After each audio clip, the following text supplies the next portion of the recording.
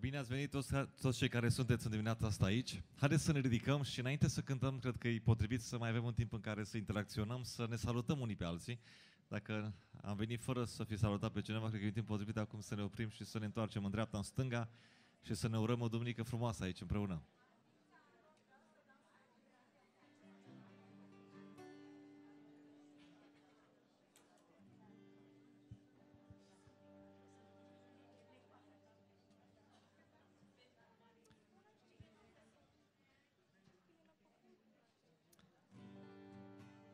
Și haideți să cântăm lui Dumnezeu glorie pentru că El ne-a făcut bine fiecare dintre noi. Cânt lui Dumnezeu glorie. Cânt lui Dumnezeu glorie și tot pământul să-i cânte. Lui Dumnezeu glorie, El ne-a adus mântuire, de aceea cânt pe vecie lui Dumnezeu glorie. Când Domnului că mi-a făcut bine, lui Dumnezeu glorie. Mi se bucură inima în mine, lui Dumnezeu glorie. Cât lui Dumnezeu glorie și tot glorie. El ne-a adus mântuire, de aceea când pe vecie, lui Dumnezeu glorie.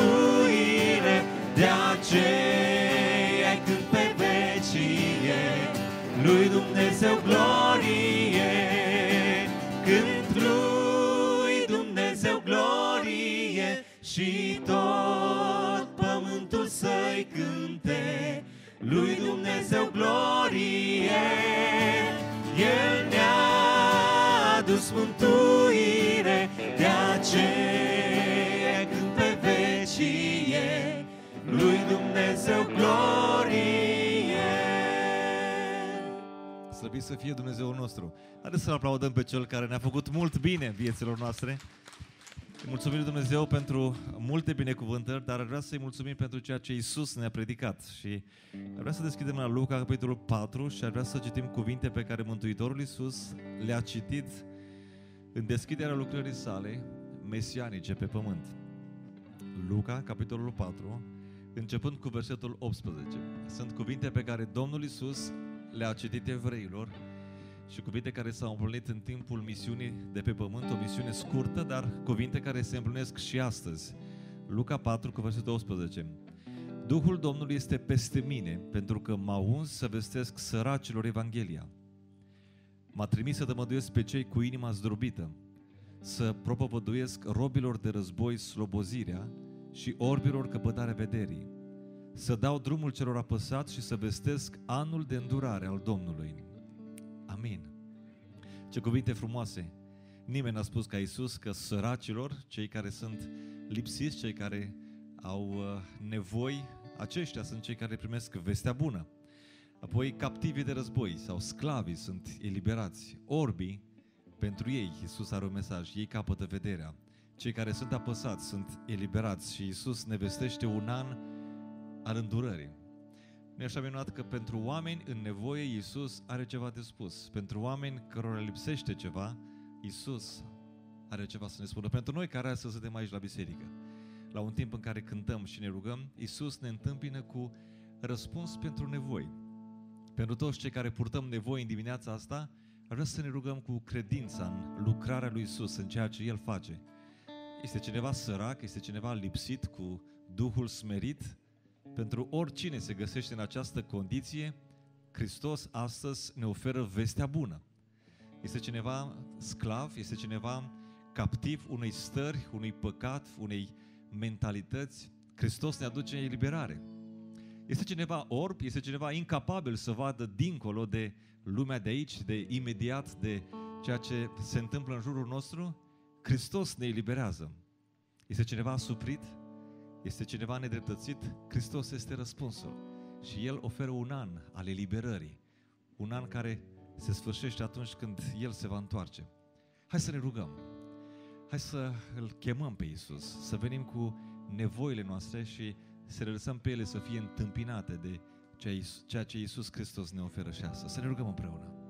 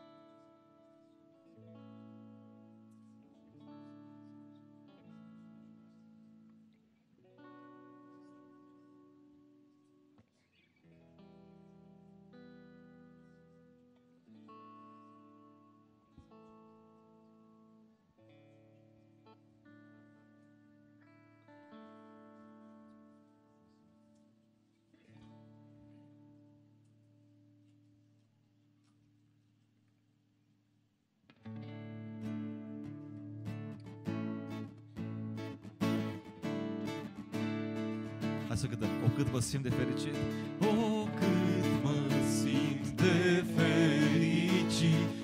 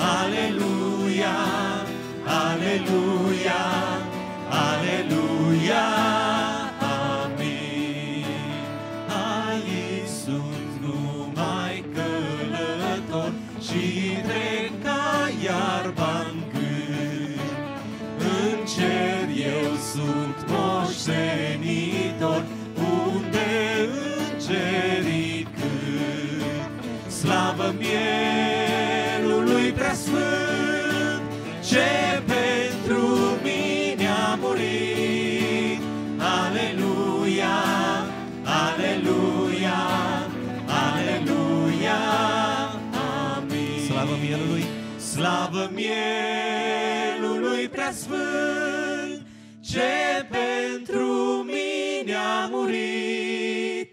Aleluia, aleluia, aleluia.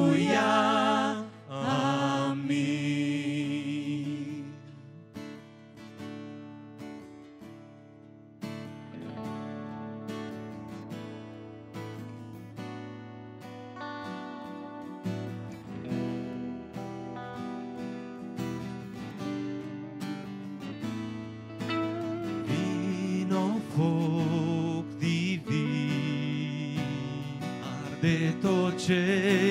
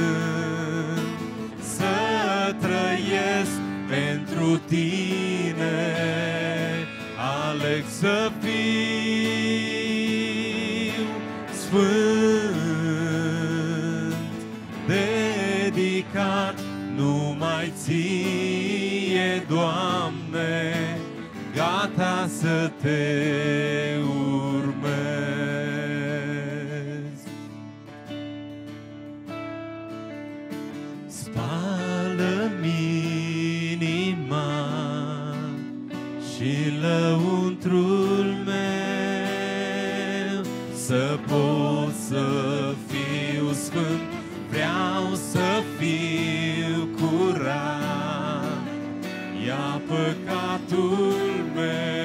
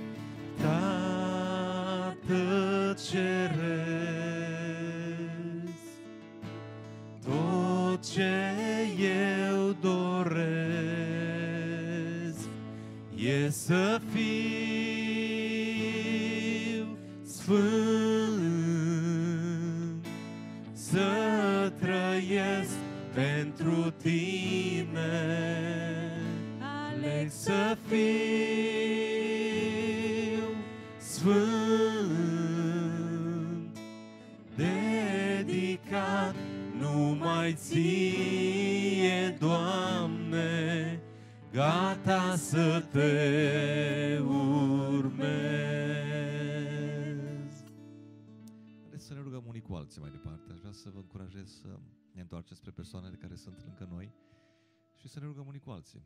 Avem să avem un timp în care să vorbim despre nevoile de rugăciune și apoi să mijlocim înaintea lui Dumnezeu împreună ca biserică.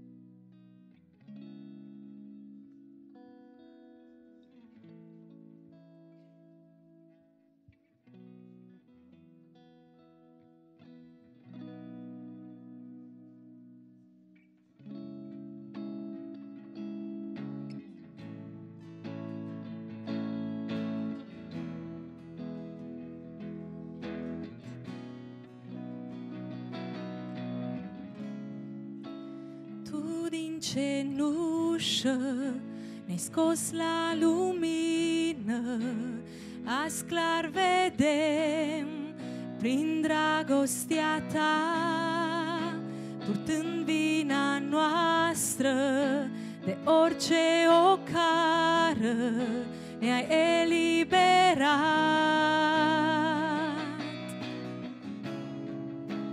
Tu din cenușă ne-ai scos la lumină, azi clar vedem prin dragostea ta, purtând vina noastră de orice ocară, ne-a eliberat.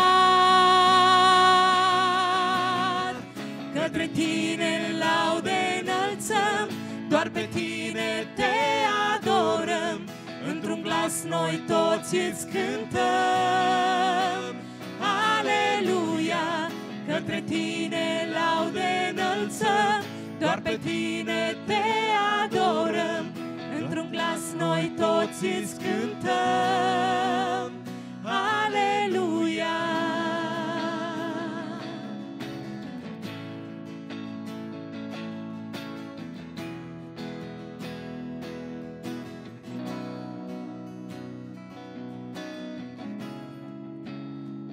Lanțuri sunt frânte, juguri sunt rupte, oasele prind viață în numele tău.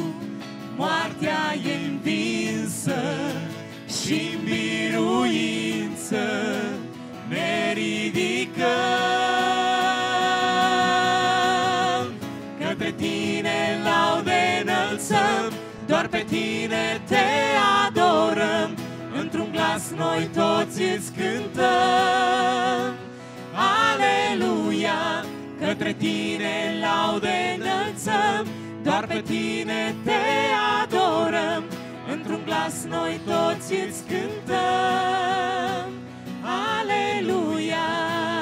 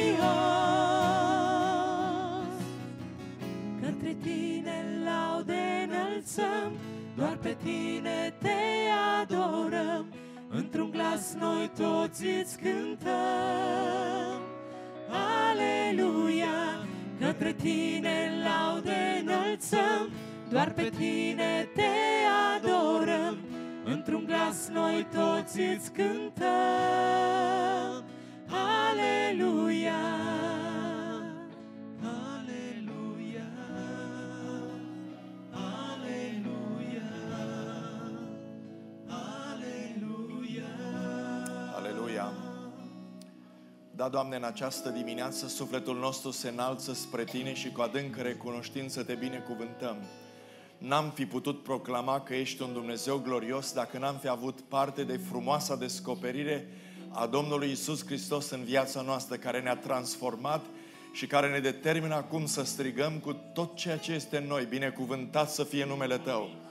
Cel care din veșnicii în veșnicie ești Dumnezeu, existi prin Tine însuți, toate se țin în ființă prin Tine, Doamne, iar creația Ta întreagă te laudă, iar ei ne asociem noi în această dimineață mult mai privilegiați decât oricine din tot ceea ce aparține creației Tale, pentru că noi am fost pierduți, dar ne-ai găsit, am fost morți în păcatele noastre, dar ne-ai adus la viață, Doamne, de aceea sufletul nostru se îndreaptă spre Tine cu recunoștință și ne închinăm Ție, slăvit să-ți fie numele Tău.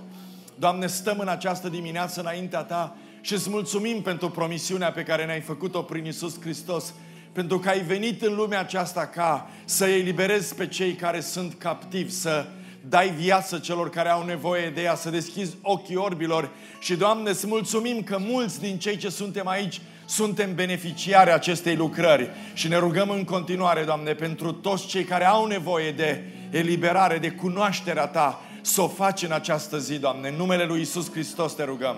Doamne, mă rog pentru cei ce nu sunt aici astăzi cu noi. Unii dintre ei sunt bonlavi, unii dintre ei sunt bătrâni sau circumstanțele vieții, Doamne, i-au pus în astfel de situații ca ei să nu pot, poată fi împreună cu noi. Doamne, mă rog acolo unde sunt, cercetează-i Tu, vorbește-le Tu, Doamne. În mod special mă rog pentru familia Stoica, care este atât de greu, greu încercată în perioada aceasta. Mă rog pentru fratele Ilie, Doamne, care este în spital într-o stare critică și te rog în numele Lui Isus Hristos, Doamne, dă-i Tu pace, Doamne, dă-i Tu putere Lui, Doamne. Mă rog ca pentru soția Lui, mă rog pentru copiii Lui, Doamne. Mă rog în vremea aceasta, Doamne, ca Tu să dai perspectiva Ta, Doamne. Îi încredințăm în mâna Ta, lucrează pentru slava Ta, Doamne. Viața este în mâna Ta, Doamne, de aceea continuăm să ne încredem în Tine și să Te binecuvântăm pe Tine. Îți mulțumesc pentru ceea ce Tu vei face în continuare, Doamne. Slăvit și binecuvântat să fii Tu, Doamne, prin Isus Hristos. Amin. Amin. Vă invit să ocupați locurile. Mulțumim celor care ne-au slujit astăzi aici cu cântarea. Uh, mulțumim Domnului pentru o nouă zi pe care El ne-a dat-o și credem că suntem îndreptățiți în această uh, dimineață frumoasă de septembrie să-L binecuvântăm pe Cel care ne-a făcut parte din familia sa. Ce privilegiu! Slavă Lui pentru aceasta! Slavă Lui! Uh, aș vrea să-i salutăm pe toți cei care ne vizitați astăzi, de aproape, de departe, cei care ne vizitați pagina noastră de Facebook sau sunteți online acum cu noi. Haideți să le spunem tuturor bun venit în biserica noastră. Dumnezeu să-i binecuvânteze pe fiecare în parte. Înțeleg că avem aici o soră care vine din Portland, Oregon, dar este originală din Slobozia Conachie. Bine ați venit, ați revenit printre noi și pe toți cei care aparțineți familiei, Dumnezeu să vă binecuvânteze. Dragii mei, uh, am câteva anunțuri pe care aș vrea să le fac pentru dumneavoastră în această dimineață. Uh, ajută-mă tu, te rog, că nu mi-am luat pointerul. În primul rând vreau să comunic faptul că începem un nou curs de cateheză. Și uh, duminica din 1 octombrie va fi prima duminică când la ora 9 vom începe acest curs. Vreau să vă încurajez pe toți cei care ați vrea să cunoașteți doctrinele de bază ale vieții creștine, să vă înscrieți, în mod special pe cei care ați dori să vă botezați, ați luat decizia de, a, de a-L urma pe Domnul Isus Hristos și ați vrea să faceți botezul în apă, vă invit să... Mulțumesc, Valeriu! Vă invit să vă, bote... să vă înscrieți la cursul de cateheză. Va fi o masă în curte la sfârșitul slujbei unde puteți face lucrul acesta. Apoi, Așa cum am spus și duminica trecută, redeschidem cursurile școlii biblice Matetis, uh, începând cu sâmbăta din 7 octombrie, din două în două sâmbete, de la ora 10 la ora 14. Cei care sunteți membri ai bisericii noastre sau altor biserici, cei care doriți să vă uh, continuați formarea dumneavoastră spirituală, echiparea pentru slujire, vă încurajez să faceți lucrul acesta. La aceeași masă în curte veți putea lua formularul de înscriere, Uh, pliantul care prezintă cursurile și apoi, după ce le completați, vă invit să îi le dați lui uh, Marcel Maxim. Apoi mâine, mâine, luni, 18 uh, septembrie, vreau să invit pe toți liderii bisericii. Invit aici bordul pastoral, cei din echipa administrativă, liderii de grupe, școala duminicală, Oana, Proveritas, misiunea în sate, Uh, departamentul mass media, uh, multimedia, scuzați-mă, uh, probabil că mi-a scăpat ceva, ce sunteți la tot ce înseamnă serviciul de ospitalitate, să ne întâlnim aici la ora 18. Vrem să împărtășim împreună cu dumneavoastră câteva dintre lucrurile pe care am dorit să le facem în noul an bisericesc și de aceea vreau să fiți cu toții prezenți. Apoi, duminica viitoare, pe 24 septembrie, va avea loc aici, în cadrul slujbei de dimineață, lansarea anului bisericesc, unde dorim să vă oferim tuturor posibilitatea să jucați un rol în ceea ce Dumnezeu va face în uh, septembrie 2017 până la sfârșitul lui august 2018 în biserica noastră. Și apoi un uh, ultim lucru pe care îl fac din când în când, sau aproape de fiecare dată, dar din când în când mai este cineva care uită telefonul, da? Uh, vă încurajez să aveți grijă să fie închis ca să aveți liniște. Poate vă întrebați de ce e pânza asta în spate. E cineva care s-a întrebat? Da, faceți parte din lumea curioasă, da? Știți, eu când eram mic, v-am mai spus, cred că o dată povestea asta, e, nu eram chiar foarte mic, dar destul de mic, am găsit în casă o hârtie A4 cu colțul uh, din dreapta de sus împachetat și scria pe el nu deschide. Și n-am rezistat foarte mult și l-am deschis și acolo scria pocăiește-te curiosule. Acum eu nu vreau să vă spun lucrul ăsta. Aici în spate este un șantier în lucru. Uh, construim un baptistier fix și cum și dumneavoastră faceți tot ce se construiește și nu arată bine în viață, acoperiți, nu așa? Da. Ah.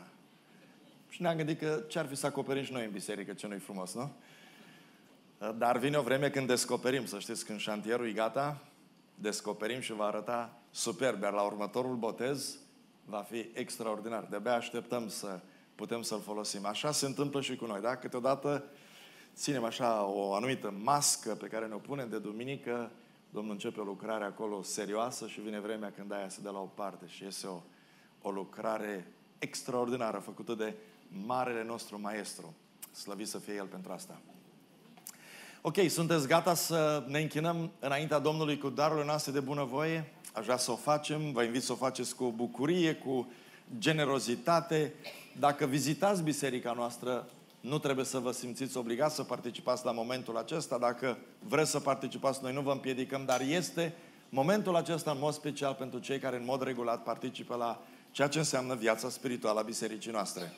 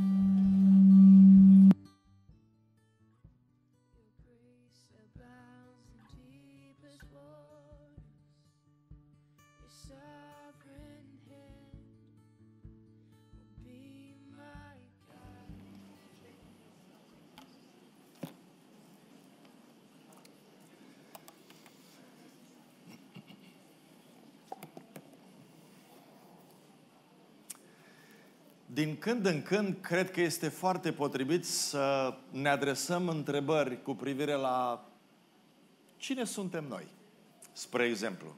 Dumneavoastră, și să răspundeți la întrebarea asta. Hmm.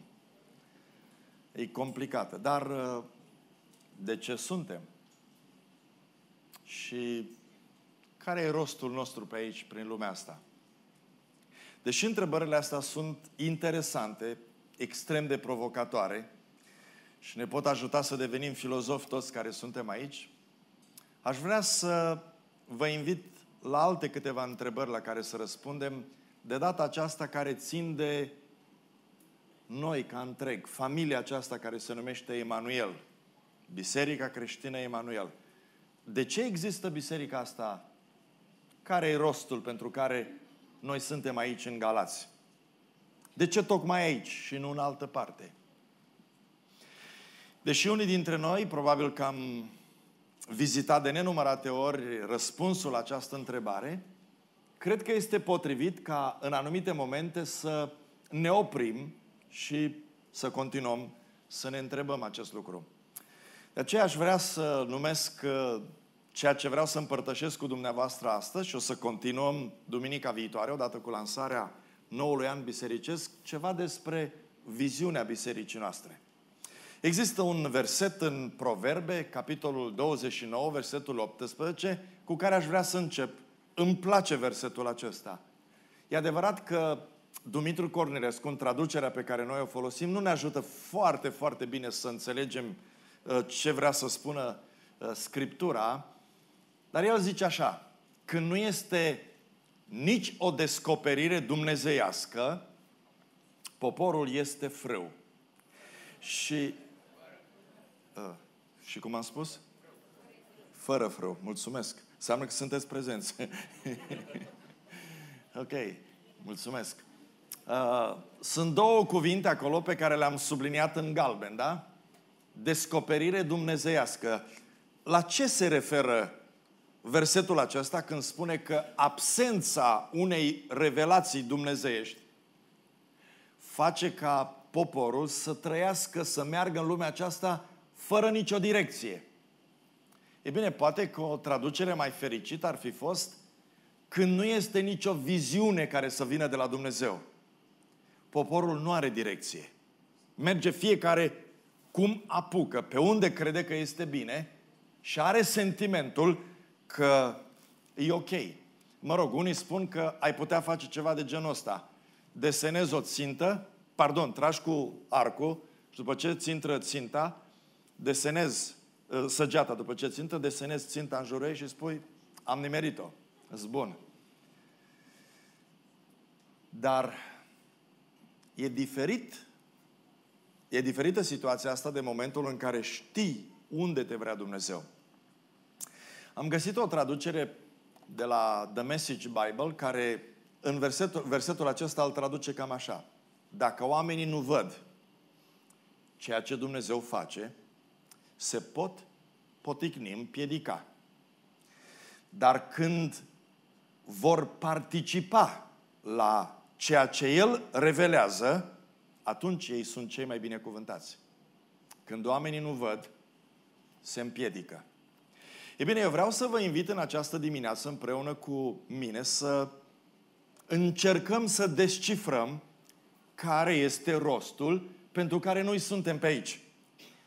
Aș vrea să vă invit la un exercițiu întâi. Știu că nu e un seminar ăsta, îmi place la seminar să creez momente de interacțiune. Ce vă spune dumneavoastră imaginea asta? Așa, când vă uitați la ea, care sunt gândurile care vă vin în minte când vedeți căruța asta cu roți pătrate încărcată cu roți roți, nu știu, rotunde, nu știu.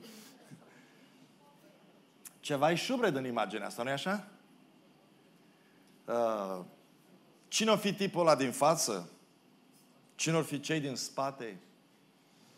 Uh, ce o reprezenta frânghia, dar roțile pătrate, dar alea rotunde? Mă rog, de multe ori noi putem crea anumite sisteme extrem de greoaie și transpirăm și muncim din greu și avem impresia că dacă efortul nostru este foarte mare, ă, lucrul ăsta înseamnă eficiență. Nu întotdeauna. Eu am văzut în viață și probabil că și dumneavoastră ați văzut oameni care muncesc toată ziua și n-au nimic. Îs săraci lipiți pământului. Dar de câte ori te întâlnești cu ei, aleargă. Îs neorganizați n-au priorități în viață, n-au o viață structurată, dar sunt foarte muncitori. Uh, eu mi-amintesc că am citit cu mulți ani în urmă că proprietarul unei firme și-a întâlnit și-a văzut prin geamul biroului directorul executiv stând cu picioarele pe birou și cu mâinile după cap, nefăcând nimic. Și a trecut așa și s-a dus la cel care se ocupa de personal și a spus, ce face tipul ăsta? Eu îl plătesc. Deci astea sunt momentele în care el gândește ce ar trebui făcut în firma noastră ca eficiența să crească. O zice, te rog să-i mărești salariul cu 10%, de oameni de ăștia am nevoie. Vreau să spun că e adevărat, de oameni de ăștia România are nevoie.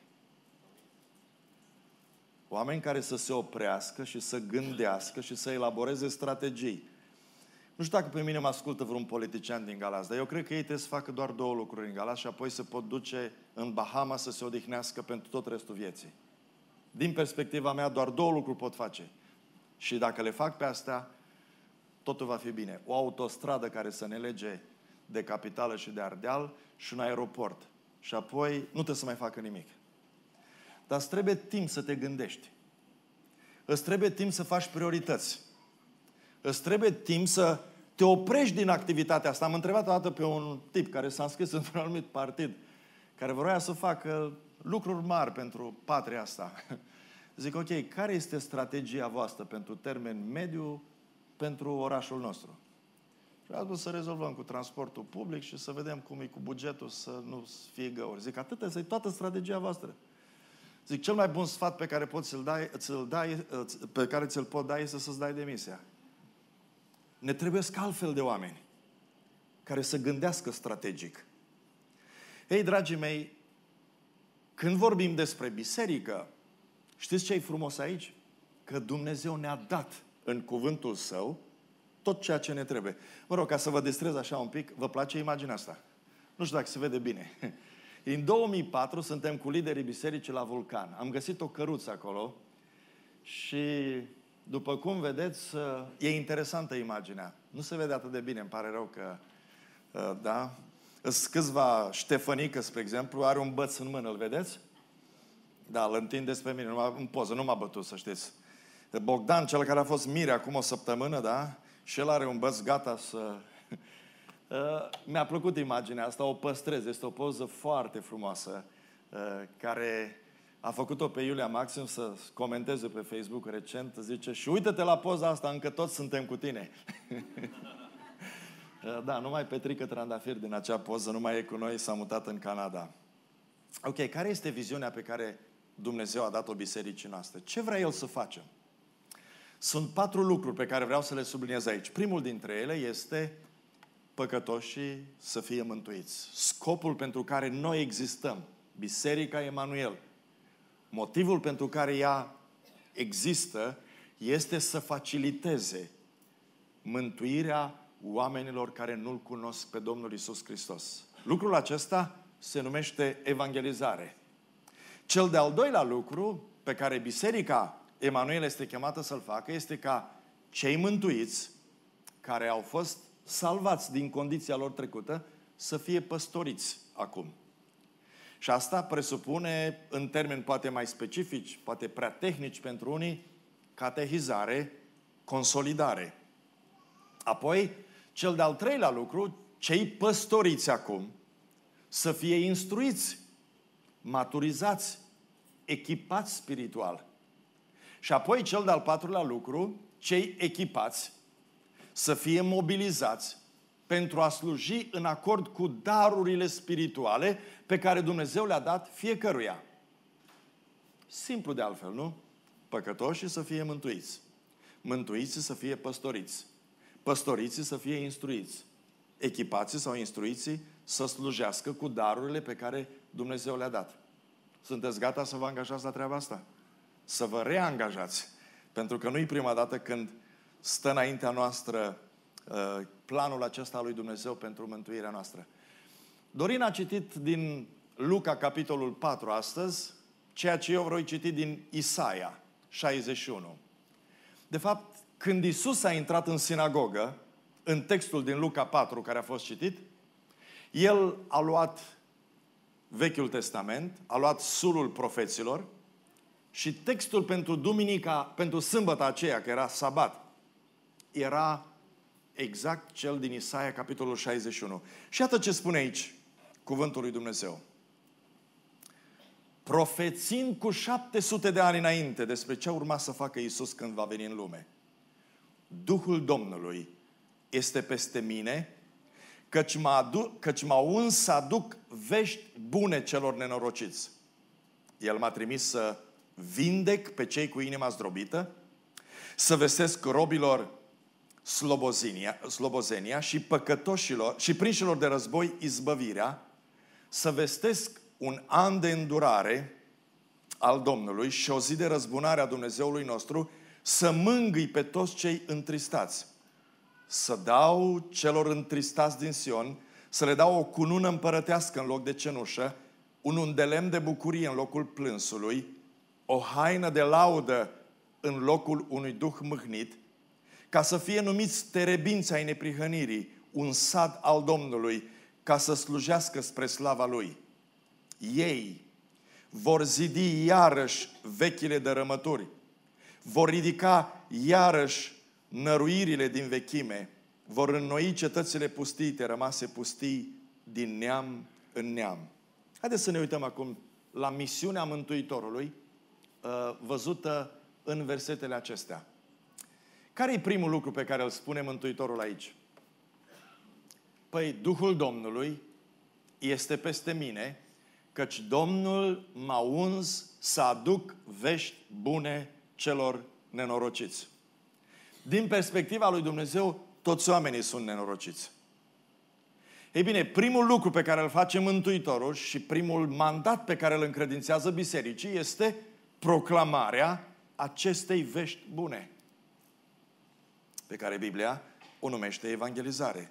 Rămânând aici, la textul acesta, uitați-vă la cea de-a doua lucrare pe care o face Mântuitorul. M-a trimis să vindec pe cei cu inima zdrobită. Ăsta este un pas înainte. După ce oamenii au fost evangelizați, urmează eliberarea de trecut sau consolidarea vieților de credință. Să vindec pe cei cu inima zdrobită. Apoi, cel de-al treilea lucru pe care îl vedem în textul acesta este să le dau o cunună împărătească în loc de cenușă. Asta înseamnă restaurare. Asta înseamnă că celui care a fost în cenușă, îi se oferă acum un alt statut. El este echipat, instruit pentru o lucrare specială. Și în cel de-al patrulea rând, omul care a avut parte de această restaurare, a trecut prin procesul acesta, este chemat să slujească, să zidească. Și versetul 4 spune, ei vor zidi iarăși vechile dărâmături.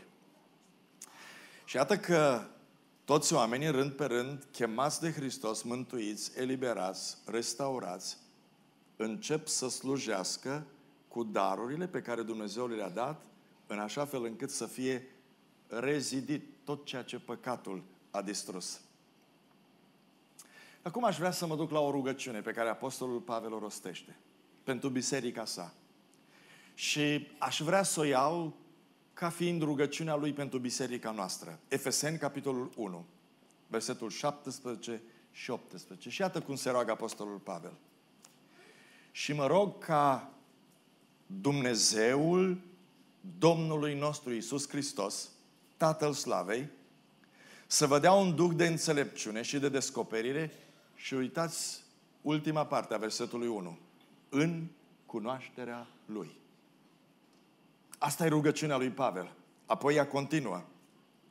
Și să vă lumineze ochii inimii, o lucrare care e mai profundă. Apoi, ca să pricepeți care este nădejdea chemării Lui și care este bogăția slavei moștenirii Lui. Și acum aș vrea să luăm pe rând rugăciunea asta lui Pavel. Prima rugăciunea lui să vă dea un duh de înțelepciune și de descoperire în cunoașterea Lui. Rugăciunea lui Pavel pentru biserica din Efes este ca oricine de acolo să-L cunoască într-un mod personal pe Domnul Isus Hristos. Oamenii n-au nevoie de mai multă religie în ziua de astăzi. Ei au nevoie de o cunoaștere personală a lui Dumnezeu. Tot ce presupune viața de credință începe cu acest prim pas cunoașterea lui Dumnezeu. De aceea putem spune că prima chemare a bisericii este evangelizarea. Noi existăm. Biserica Emanuel există pentru a face în orașul acesta, în zona aceasta, în lumea noastră, evangelizare. pornind de la faptul, de la adevărul că sufletele oamenilor sunt pierdute. Ce facem noi pentru gălățeni? Cum ați răspunde la întrebarea asta? Cineva spunea, punea o întrebare foarte grea. Deci dacă biserica voastră de mâine ar dispărea din oraș, orașul ar sesiza lucrul acesta? E grav dacă nu se sesizează. Ce face biserica noastră? Putem să mai trăim doar pentru noi înșine? Nu cumva ar trebui preocuparea noastră majoră să fie a privi în exterior. Câți de aici ați fost pierduți în păcatele dumneavoastră și prin slujirea Bisericii Emanuel, când spun bisericea, oricărui persoane din Biserica Emanuel, l-ați cunoscut pe Domnul Isus Hristos. Puteți ridica o mână? Slavă Domnului! Acum, chemarea noastră a tuturor este să facilităm această cunoaștere și de către alții. Cum? Păi gândiți-vă dumneavoastră că Dumnezeu aduce oameni în viața noastră, nu-i așa? Rude, prieteni, colegi, vecini, oameni cu care faci o afacere, cu care interacționezi, cu care ai o relație. Înarmați-vă cu această mentalitate. Eu sunt un preot al lui Hristos. Oriunde mă duc. Da? Sunt constructor, spre exemplu, da? Eu nu sunt doar constructor, eu sunt un preot al lui Hristos care construiește case. Și eu acolo am un client și am o familie care vrea să-și facă casă. Și eu îl reprezint pe Hristos acolo. Crezi că întâmplător l-a adus Dumnezeu, i-a adus pe oamenii aceia în contact cu noi ca tocmai noi să putem să facem o lucrare bună pentru ei? Eu nu cred că e întâmplător. Ești profesor, tocmai ai început anul școlar, nu? Ai 30 de elevi care sunt acolo. Mintea lor, tu o influențezi, comportamentul lor, tu îl influențezi ca și cadru didactic. Ce zici dacă ori de câte ori intri în sala aceea, tu te vezi ca preot?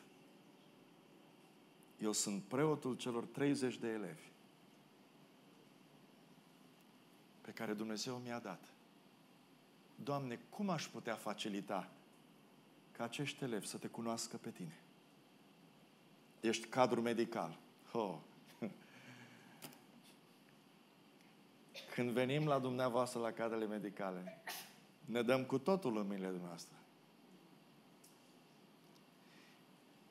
Imaginați-vă că orice pacient pe care îl întâlniți, îl tratați din perspectiva unui preot care se roagă pentru pacient, care îl tratează cu grijă, care îi duce dragostea lui Hristos. Și aș putea continua. Lista este foarte lungă. Orice facem în lumea aceasta, oriunde ne mișcăm, Dumnezeu vrea să acționăm ca niște preoți care slujesc. Așa că primul lucru pe care îl fac când mă gândesc la a facilita evangelizarea în orașul meu, în orașul nostru, este să identificăm acest oikos, cum se spune în termeni grecești, adică familia lărgită, toți oamenii cu care eu am o relație. Apoi încep să mă rog pentru ei. Foarte important să mă rog pentru ei. Oamenii din jurul nostru au nevoie de rugăciunea noastră. Apoi dezvoltăm relații cu ei relații sănătoase, corecte. Și apoi, ca biserică, creăm evenimente evanghelistice unde îi invităm pe acești oameni. Asta înseamnă că biserica nu mai trăiește pentru sine, ci trăiește pentru comunitatea în care Dumnezeu a așezat. Am citit un, un articol pe Washington Times, oare? Sper să nu încurc ziarele, care spunea că biserica creștină s-a mobilizat în urma dezastrului produs de uraganul din Texas, în mod special din orașul Houston, mai bine decât orice agenție a guvernului american și a ajutat pe oamenii sinistrați cu mai multă eficiență decât a făcut-o guvernul. Păi mie mi-a venit să stric când am citit articolul ăla cât am putut. Slăvit să fie Domnul! Oare nu pentru asta trăiește biserica? Biserica nu mai poate trăi pentru ea. Noi nu putem să fim doar consumatori ai unor resurse pe care Dumnezeu ni le-a dat. Dumnezeu ne-a așezat în comunitate pentru a fi o binecuvântare pentru comunitatea noastră. De aceea, poate că ar trebui să acordăm mai multă atenție la transformarea slujbelor de duminică dimineața în a sluji comunității noastre, în timp ce nu vom neglija pe cei care aparțin familiei. Mă rog, aș încerca să răspund cu să răspund la întrebarea ce este evangelizarea. Cineva a spus, evangelizarea ar putea fi văzută așa. Un cerșetor spune altui cerșetor unde poate găsi o bucată de pâine. E o definiție frumoasă, nu așa? Dar se spune că un pictor a încercat să zugrăvească pe o pânză ce înseamnă evangelizarea.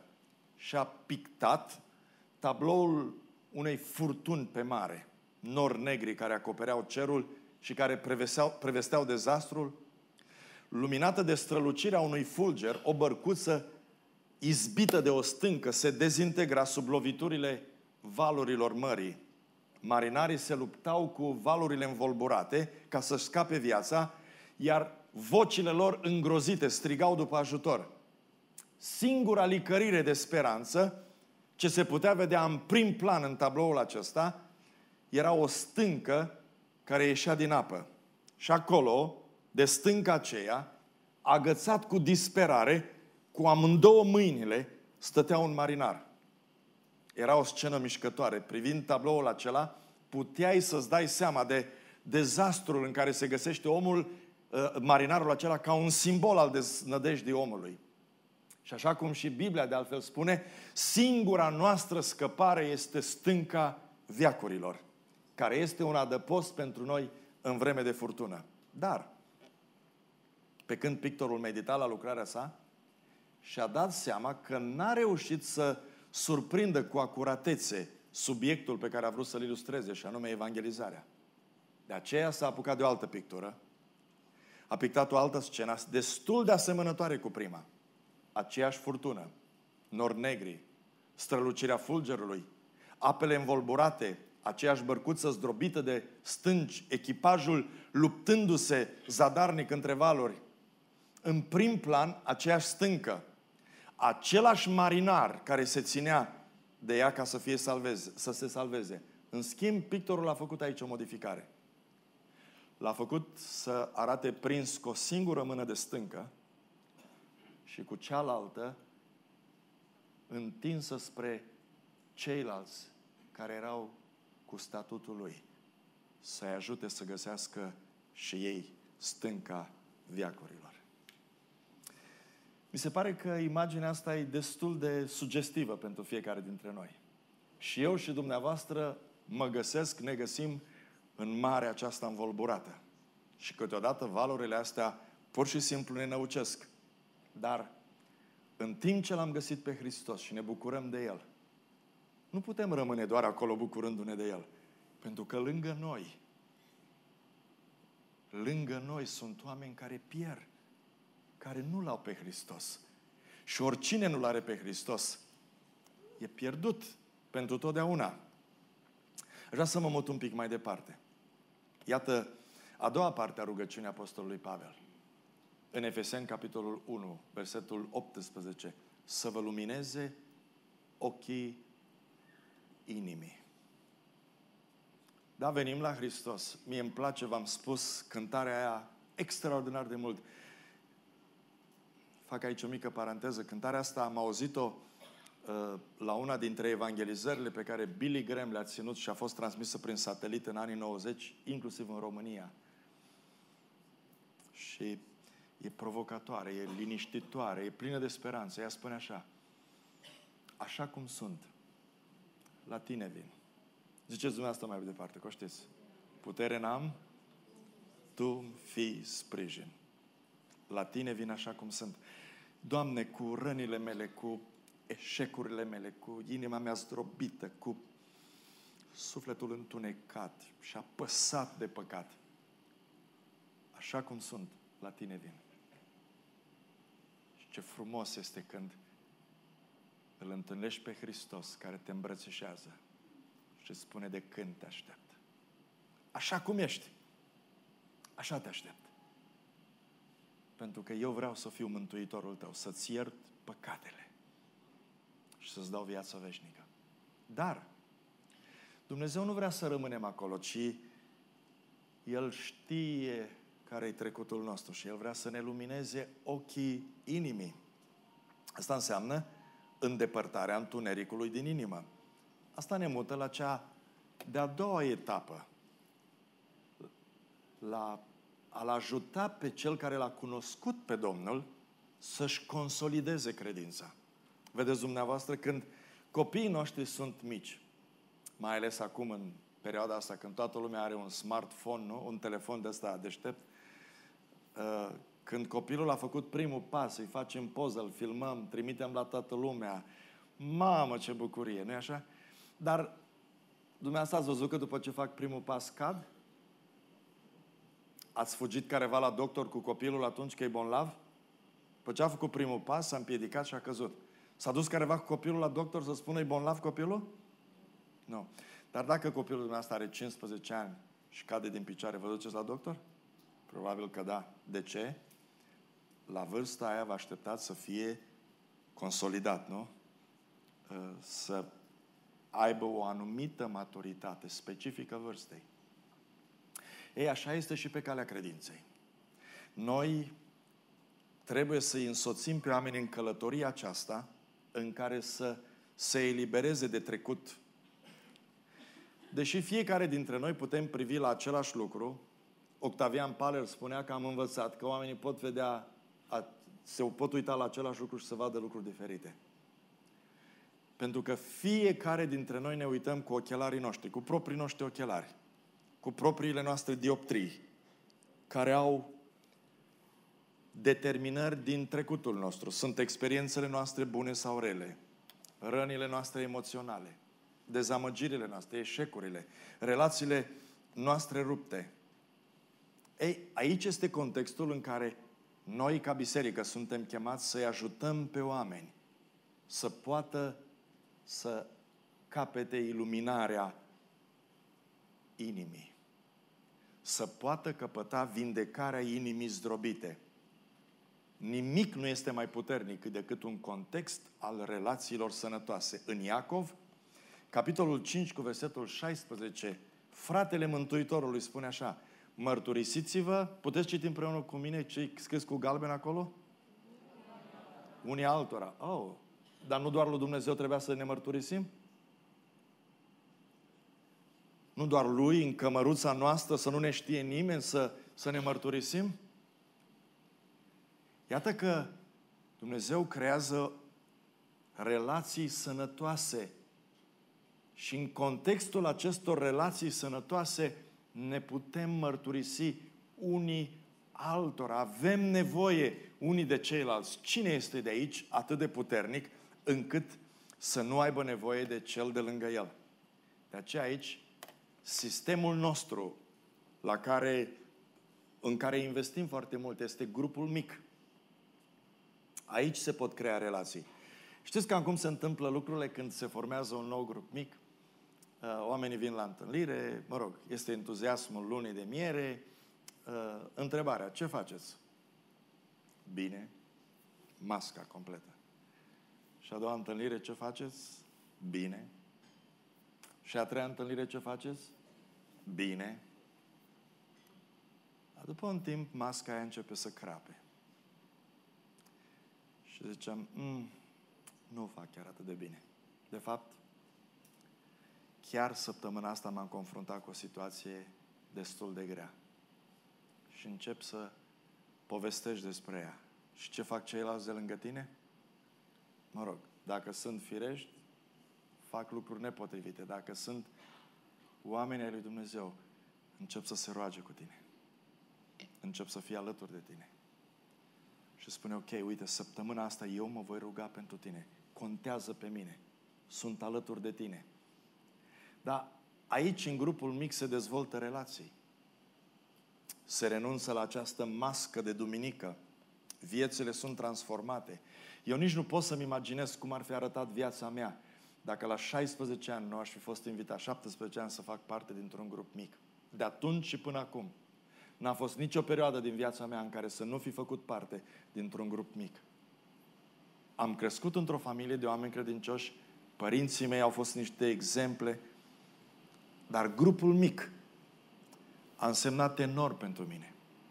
Acolo am învățat ce înseamnă relații, am învățat cum să mă rog, am început să descifrez Scriptura. Am văzut cum viața mea evoluează din punct de vedere spiritual, se transformă. De aceea, eu vreau să vă spun în această dimineață tuturor că noi, ca biserică, n-am descoperit un cadru mai bun în care oamenii să fie păstoriți decât grupul mic. Nu știm o modalitate mai bună. Și așa după cum am înțeles-o din Scriptură, nu este una mai potrivită decât cea a unui context relațional. Și duminica viitoare o să vă prezentăm aici toate grupele disponibile cu invitația ca fiecare dintre dumneavoastră să vă înscrieți la grupa care credeți că e cea mai potrivită pentru această etapă a vieții în care sunteți. Acum aș vrea să vă invit să ne uităm la cea de-a treia parte a rugăcinului Pavel. Și el spune ca să pricepeți care este nădejdea chemării lui. Cu alte cuvinte, el are o chemare pentru fiecare dintre noi.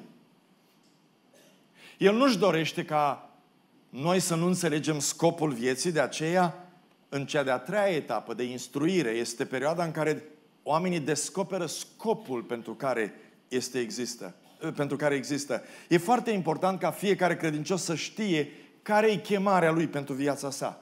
Pentru că asta îți dă speranță. Se spune că sunt două zile importante în viața noastră. Ziua în care ne naștem și cea de-a doua zi importantă din viața noastră este ziua în care descoperim de ce ne-am născut. De fapt, uh, citindu-l pe Cole Nail în Biserica 3.0, el spune trei lucruri. Și el spune așa, primul lucru și cel mai important este să te naști. Deci ăsta e un lucru mare. Puteai fi avortat, puteai, puteai să nu fii. Ăsta e primul lucru. Al doilea lucru, să știi de ce te-ai născut este un lucru și mai mare. Dar el merge un pic mai departe și îmi place lucrul ăsta. Să-ți împlinești menirea pentru care te-ai născut este cel mai mare lucru. Și acum, poate că mi-aș permite această întrebare pentru dumneavoastră. Dumneavoastră știți de ce v-ați născut. Știți, noi când suntem răi, spunem ceva de genul, te-ai născut degeaba, ca să faci umbră pământul ăsta. Nu? Ați auzit expresia asta? Ați spus-o vreodată? Ok. Nu-i cazul să vă mărturisiți public, da? Uh, nimeni nu s-a născut ca să facă doar umbră pământului. Dumnezeu ne-a dat un scop.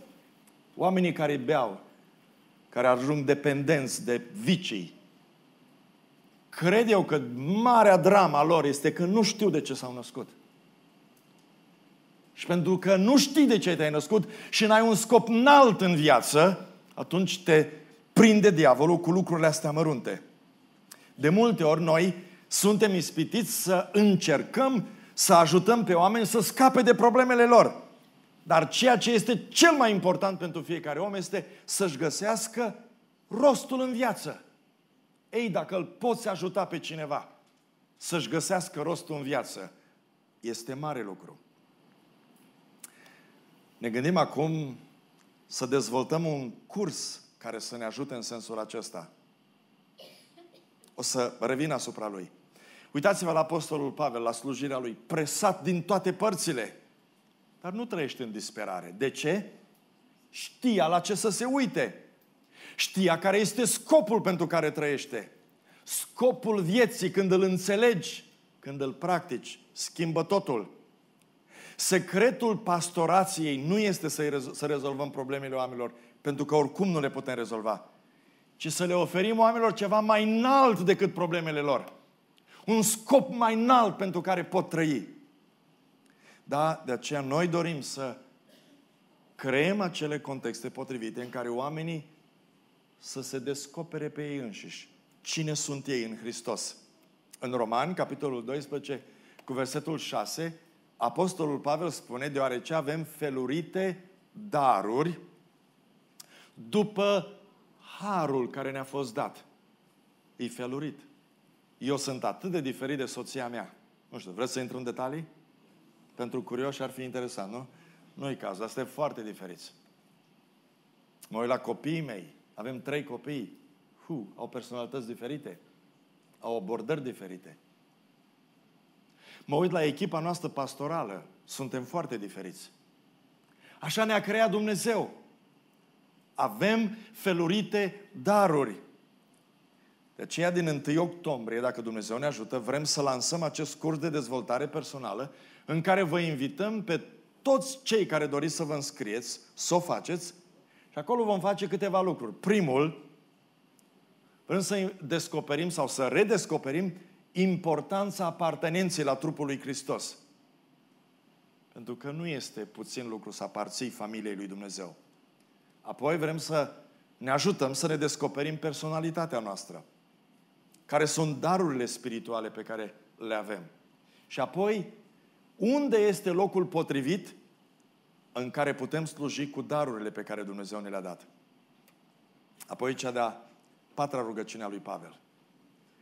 Care este bogăția slavei moștenirii lui în Sfinți? Efeseni 1 cu 18.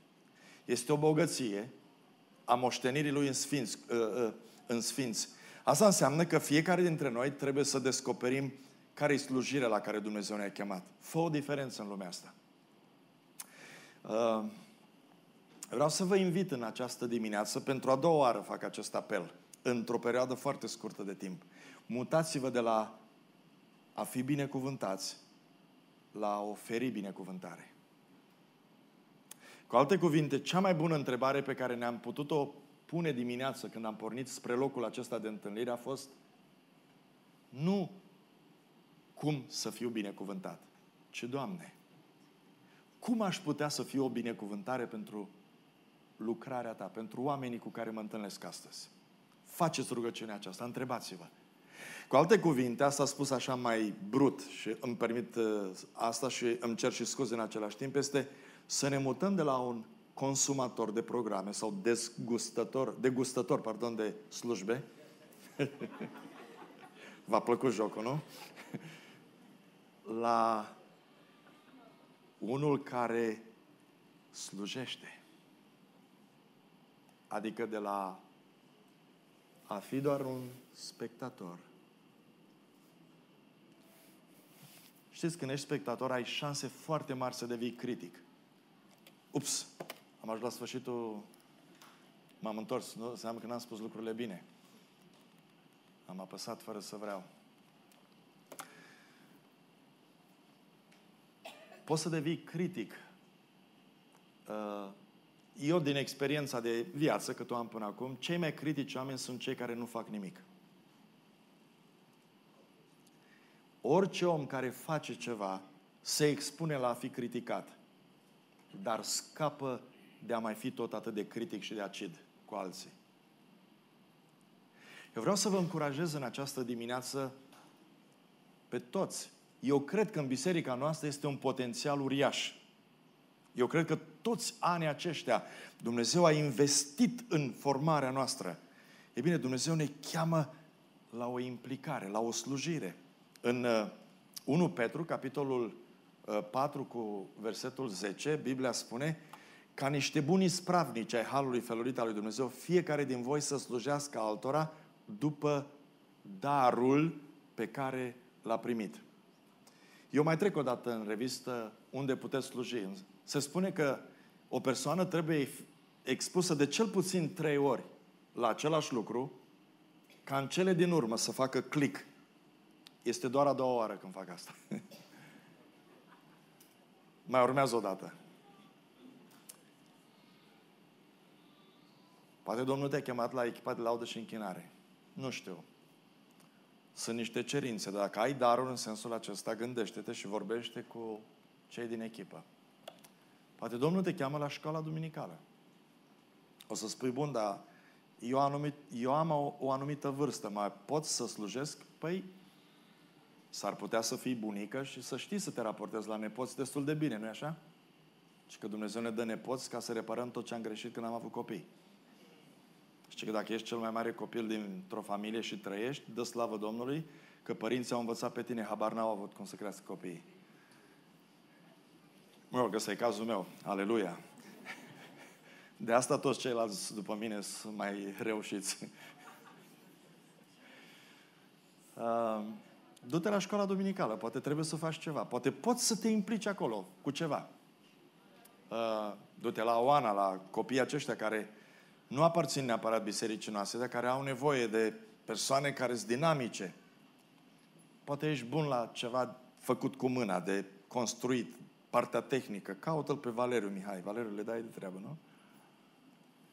Vă invit la grupele mici. Vă invit să vă faceți casa dumneavoastră un loc unde să se întâlnească grupa mică. Vă invit să vă gândiți la misiunea din județ, la departamentul de tineret.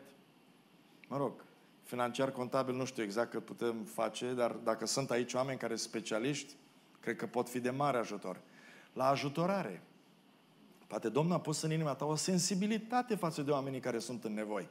Du-te la Marcel, la Marian Maxim și spune contează pe mine, vreau să mă duc eu într-o familie care are nevoie, dăm ceva de făcut, vreau să slujesc. Poate vrei să te implici la departamentul de protocol logistică, la echipa pe care, la echipele pe care le coordonează Didi, da? la ospitalitate, la servicii de ordine interior, la primirea, întâmpinarea musafirilor. Poate vrei să ajungi la parcare. Poate Domnul spune să intri în departamentul multimedia, la video, la audio, la proiectarea video, la pagina web. Poate îți place să lucrezi cu cei în vârstă, cu seniorii. Poate ești creativ și te-a enervat pânza asta. Și zici, bă, tipii ăștia nu s-au priceput deloc. Ce pânză amărât au pus. Nicio problemă. Până duminică poți să o faci să arate superb. nu e așa? Tot ce trebuie să faci este să-ți pui darurile creative în valoare. Și să zici, eu aș putea sluji să arate total diferit. Da? Poate Domnul a pus abilitatea de a consilia oameni. Poate vrei să te implici la Proveritas, la Academia Proveritas, la programul Îndrăznește să gândești, la tineri în pragul vieții, la Descopereți vocația, la Fusion. Nu știu. Sunt multe alte oportunități în afară de cele pe care eu le-am prezentat. Roagă-te și pune-te la dispoziția lui Dumnezeu. Cum ai putea sluji mai bine? Dumneavoastră vă place termenul succes? A, nu știu exact. Oricui îi place. Dar de obicei în biserică avem o problemă cu termenul ăsta, nu? Să ai succes. E cam firesc, nu așa?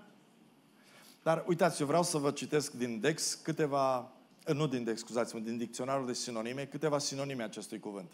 Izbândă. Vă place cuvântul ăsta?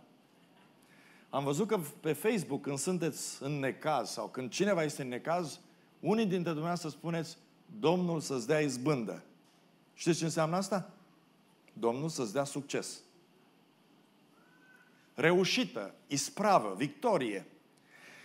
Întrebarea este, bun, noi în Biserica Emanuel, cum definim izbânda, ca să fiu mai spiritual un pic? Să nu credeți că... Cum definim faptul că se întâmplă ceea ce Dumnezeu vrea? Păi, sunt cele patru lucruri spuse altfel. Când îi ajutăm pe oameni să se mute de la pierduți la mântuiți. Când creăm acele slujbe care, în care oamenii pot să le experimenteze pe Dumnezeu și tu poți fi parte la asta. Măsurăm reușita noastră când pe cei salvați, pe cei mântuiți, îi păstorim prin grupele mici. Când oricine ajunge într-o grupă mică unde dezvoltă relații de calitate, unde crește spiritual, este ceva care aduce izbândă. Când pe cei păstoriți îi echipăm în vederea descoperirii darurilor spirituale. Și apoi măsurăm reușita noastră când cei echipați nu stau, ci sunt mobilizați în vederea slujirii altora. Aș vrea să închei cu experiența lui Hudson Taylor, care a fost misionar în China. El este englez și după un timp petrecut în China, se întoarce într-una din biserici și povestește despre o situație dramatică prin care el a trecut. Era pe o embarcațiune, uh, se apropiau de țărm, împreună cu el era un tip, Petru, îi spuneau chinezii Petru pentru că a petrecut un timp în Anglia. Omul acesta a auzit despre Domnul, dar nu-și încredințase viața în mâna lui Dumnezeu. Și în timp ce se străduia ca acea embarcațiune să ajungă la mal, deodată a auzit un zgomot puternic și a realizat că Petru a căzut în apă. Și a strigat disperat după ajutor. S-a simțit neputincios, n-a știut cum să-l ajute, nu știa, cred că, să noate. Și la un moment dat a văzut niște pescari cu niște mreje, năvoade din astea, erau aproape de el și a strigat cât a putut la, el, la ei și a spus, oameni buni, un om a căzut în apă, ajutați-mă! Și ăștia nepăsători zice, cât ne dai ca să sărim în apă după el? Păi ce nu am suficienți bani, dar cât ți-am da, vă dau? Vă dau 5 dolari. 5 dolari? Nici nu ne clintim din locul nostru. Mă rog, negocierea a fost lungă până când în cele din urmă pescarii au fost convinși că vor primi toți banii pe care are Hudson Taylor în buzunar. Și au venit ăștia și rapid au băgat năvodul și l-au scos pe Petru afară. Din păcate, era prea târziu. Petru era mort. A, imaginați-vă biserica din Anglia în care predică Hudson Taylor. Câte indignare. Oamenii ăștia nu înțeleg valoarea vieții. Și după o pauză, Taylor zice, nu vă supărați, voi sunteți ăștia. În timp ce oamenii mor fără Hristos, voi vă târguiți și vă întrebați cât îmi dai, ce mi iese din fața asta. Și pierdeți din vedere că Dumnezeu ne-a așezat cu un scop în lumea asta. Dragii mei, frați și surori, Dumnezeu ne iubește. Sper că aveți încrederea asta, nu? Și El are un plan pentru viața noastră de a putea sluji în modul cel mai eficient. Poate ești în dimineața asta aici și n-a iertate păcatele. Ești în dimineața asta aici și n-ai experimentat ce înseamnă să treci de la moartea spirituală la viața spirituală. Aș vrea să spun, Hristos Domnul este aici ca să-ți mântuiască sufletul. Și vrea să mă rog cu cei care se găsesc într-o astfel de situație și în timp ce echipa care cântă vine aici în față, aș vrea să vă invit pe toți care sunteți în sală să plecăm capetele și să ne unim împreună cu cei care în inima lor doresc să experimenteze iertarea, să experimenteze viața, să experimenteze pacea lui Hristos. Rugați-vă împreună cu mine, Doamne, Tu ești dătătorul vieții.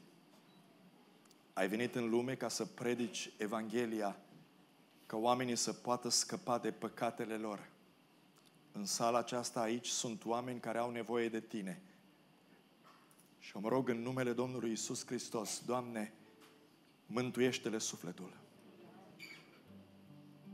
Dă-le viața Ta. Doamne, și apoi aș vrea să continui această rugăciune.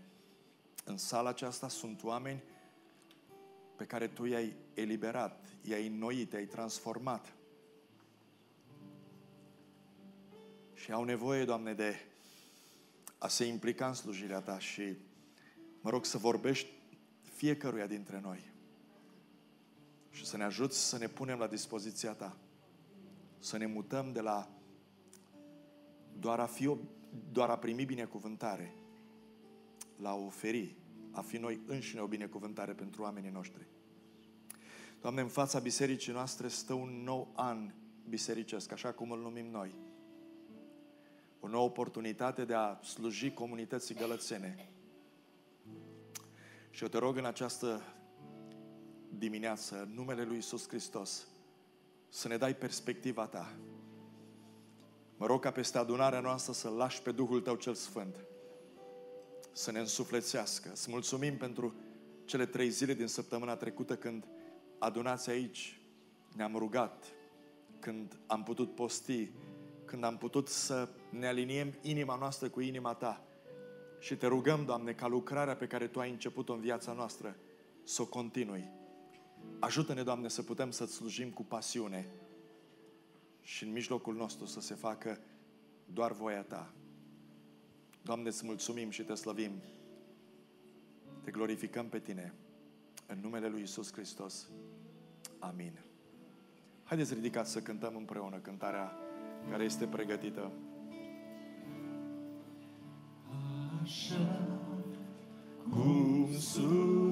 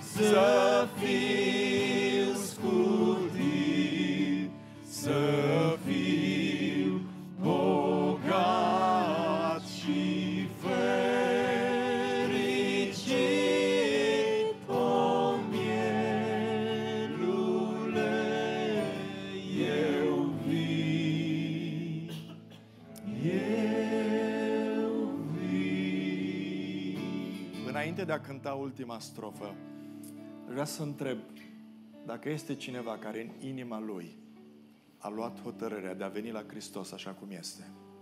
Este cineva aici care a luat astăzi această hotărâre. Dumnezeu să vă binecuvânteze. Mai este cineva care a luat această hotărâre astăzi. Dumnezeu să vă binecuvânteze. Mai este cineva care astăzi a decis acest lucru în inima lui. Spuneți printr-o ridicare de mână lucrul acesta. Haideți să cântăm și următoarea strofă. Este și pentru dumneavoastră, în mod special, și pentru noi toți care avem nevoie de reînnoire. Unii dintre noi avem nevoie de a reînnoi legământul acesta cu Domnul. Așa cum sunt, Tu mă primești. E pentru dumneavoastră. Păcatul nici nu mi-amintești. Credeți lucrul ăsta? Hristos când vă iartă, când ne iartă, nici nu ne mai amintește păcatul. Dacă este cineva în Hristos, este o făptură nouă. Haleluia! Cele vechi s-au dus, iată că toate lucrurile s-au făcut noi. Haideți să cântăm împreună. Tu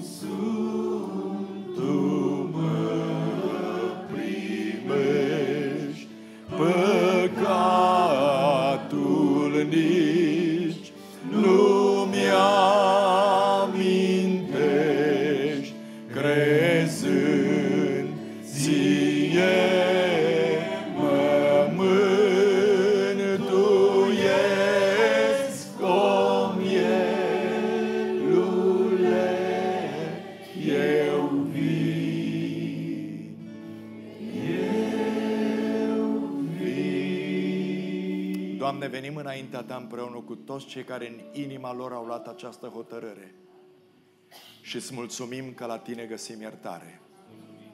Îți mulțumim că la Tine este viață. Îți mulțumim pentru că ne dai îndurare, slăvit să-ți fie numele Tău. Mă rog să-i binecuvântez pe cei care au făcut această hotărâre. Binecuvântele familiile lor și ajută-i să trăiască pentru slava numelui Tău. Amin. Vă invit să ocupați locurile. Dumnezeu să vă binecuvânteze cu o duminică frumoasă și o săptămână pe măsură.